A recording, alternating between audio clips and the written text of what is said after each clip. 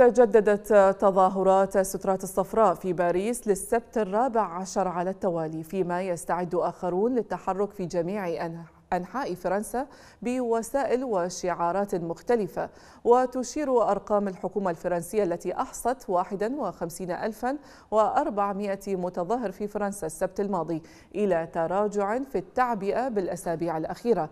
لكن حركة الاحتجاج تنفي ذلك وتتحدث عن ثبات حجم قوتها مؤكدة أن 118 ألف شخص نزلوا إلى الشوارع الأسبوع الماضي.